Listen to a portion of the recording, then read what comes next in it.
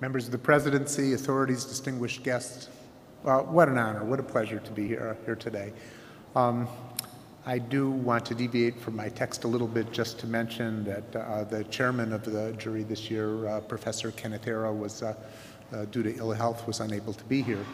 And um, that's a big disappointment for me, although uh, his health, of course, is more important. Professor Arrow was a role model for me when, as, when I was a young economist, and it was a very special honor to uh, receive the call from the BVA Foundation uh, from Professor Arrow.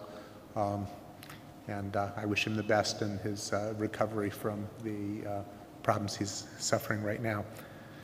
I- I'm excited to, to be here and, and very grateful to the BV, BBVA Foundation for this honor. Uh, of course, a celebration like this is made especially meaningful when the right people are uh, in attendance. My, my wife Eva, who's taking a picture of me right now. Um, hi, Eva. Uh, uh, you know, sharing sharing this with her, of course, makes it so much uh, so much more exciting. And my brothers and and and, and in-laws who who are here, um, just sharing the prize just adds so much to it.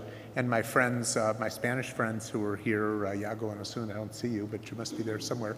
There you guys are. Uh, it just the, the just sharing the prize with you and, and sharing the, the the whole ceremony with you has just made this incredibly special for me.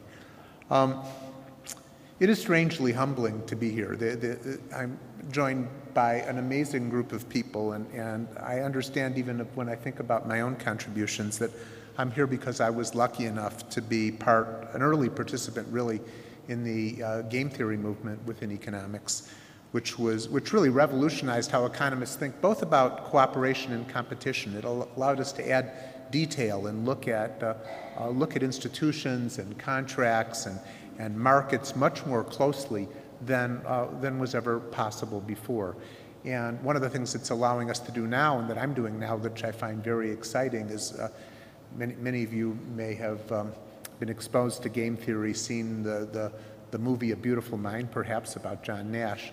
But we're sort of reversing the application of game theory now. Now that we understand something about uh, how institutions affect behavior, we're now designing institutions with the intention of getting good outcomes, with the idea that we can predict what behavior will be in each institution. So not only this prize here, uh, which recognized my work in auctions, but the Nobel Prize this year recognized work in, in matching theory, which are uh, also about designing institutions that uh, perform especially well.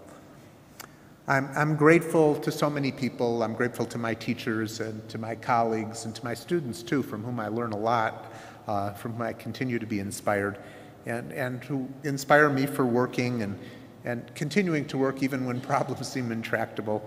Uh, and I'm here today. I, I, want to renew my promise to all these people, to my teachers and colleagues and students, that uh, uh, we're not finished. I'm still with you. We've got a lot more work to do, so uh, let's get to it. Thank you.